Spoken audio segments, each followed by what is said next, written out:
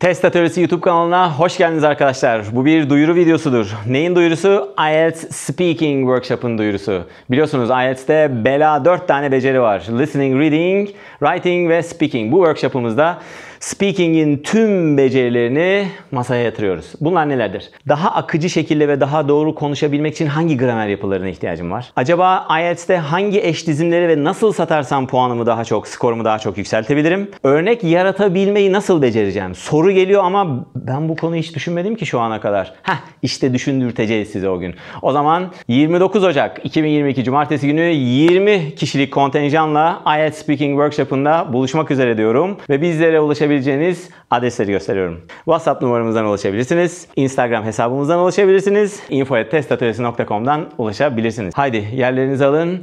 Ayın 29'unda görüşmek üzere. Kolay gelsin.